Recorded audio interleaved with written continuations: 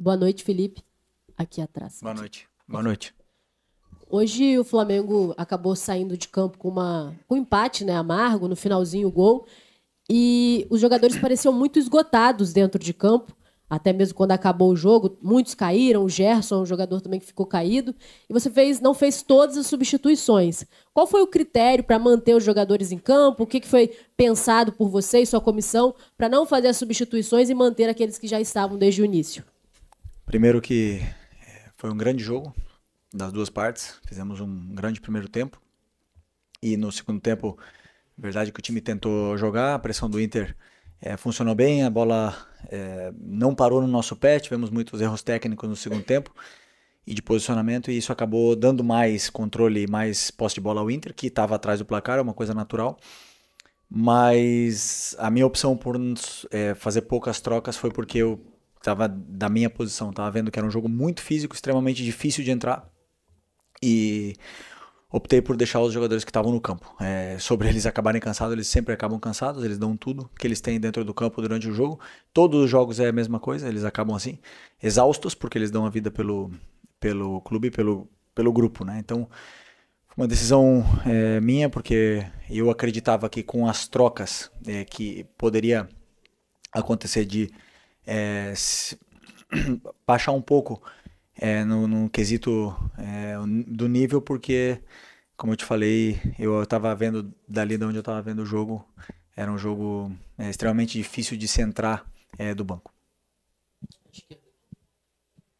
Felipe, tudo bem? Boa noite. Boa noite. Uh, queria que tu falasse sobre o, o porquê acabar optando não começar com o Gabigol na partida de hoje. Obrigado. Porque eu optei por começar com o Bruno, cara que é, tá num grande momento, ataca é muito espaço. Eu estudei bastante a equipe do Inter, acreditava que a gente poderia aproveitar muito essa bola no, no espaço para o Bruno Henrique com a velocidade dele e, e depois ele sustentava porque também a pressão, a pressão do Inter é uma pressão muito forte e sempre que tivesse algum desafogo ele poderia aguentar bem a bola. Então optei por ele em vez do Gabi. Boa noite, Felipe. Cidão Marido Eleitoral News. O Alcaraz teve uma grande oportunidade de fazer um gol, poderia ser o 2 a 0 ali. Eu percebi que você até se jogou no chão na beira do gramado. Eu queria que você falasse o que passou na sua cabeça naquele momento e se faltou efetividade muitas vezes para a equipe do Flamengo, né? Tiveram algumas chances que a equipe acabou perdendo.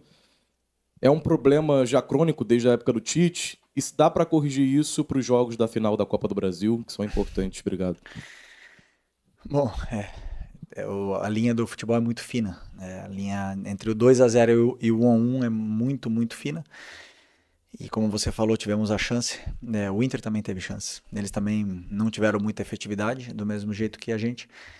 É, mas, como eu falei, o que o meu trabalho é fazer o time é, tentar chegar até a área do adversário da melhor é, máximo possível, criar o máximo de chances e depois os jogadores é, a contundência nas áreas são dos jogadores, é, tanto na área defensiva como na área ofensiva. Isso é, são, são dos jogadores, é natural. E é, se, se erram, hoje se errou, pode ser que no, no domingo é, o, o Charlie possa ter a mesma chance e, fa, e, faça o gol. Então, assim, eu fico feliz com o jogo que ele fez. Ele fez, um, para mim, um grande jogo. Correu, lutou, deu, fez tudo pela equipe, fez exatamente o que eu pedi para ele fazer e é, quase, não, quase não perdeu bola, se sentiu muito confortável na posição que ele estava jogando e fiquei feliz com o jogo dele.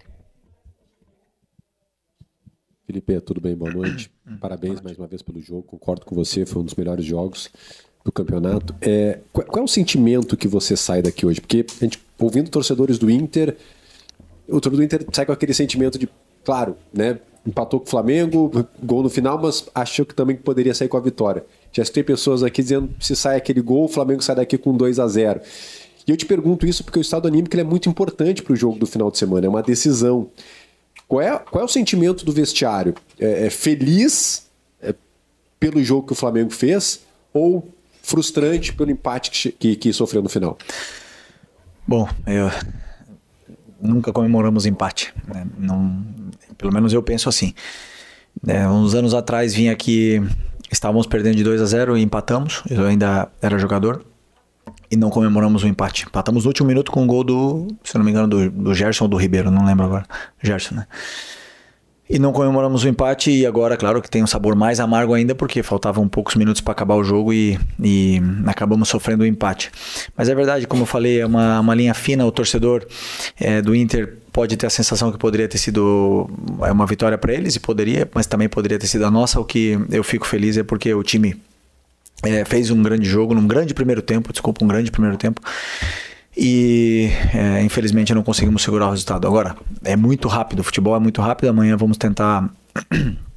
Hoje, aliás, já tentar melhorar esse, esse ambiente, essa, esse estado anímico dos jogadores, porque tem uma final domingo na frente da nossa, da nossa torcida e, e obviamente que todos eles querem jogar. A última, tá, gente? Felipe, boa noite. É, o jogo acabou sendo decidido em um lance crucial já no final do segundo tempo.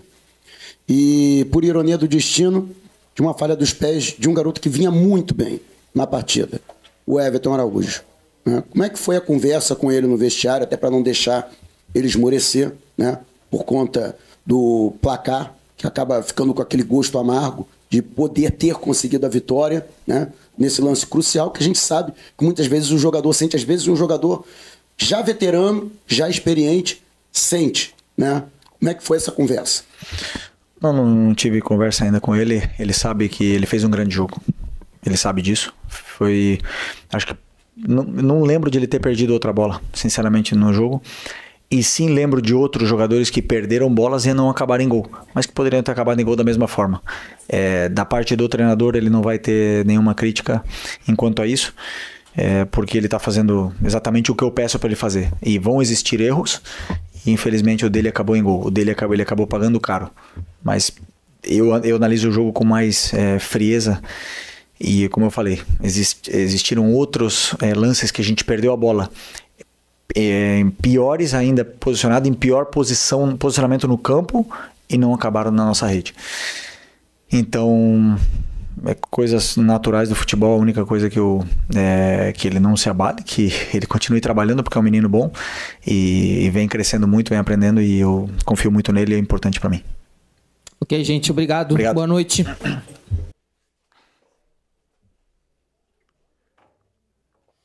Alô, alô, som, som.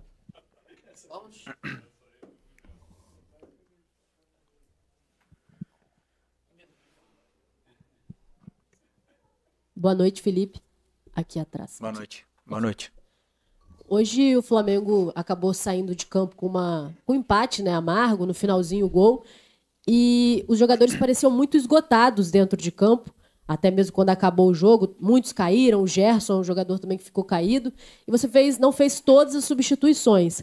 Qual foi o critério para manter os jogadores em campo? O que, que foi pensado por você e sua comissão para não fazer as substituições e manter aqueles que já estavam desde o início?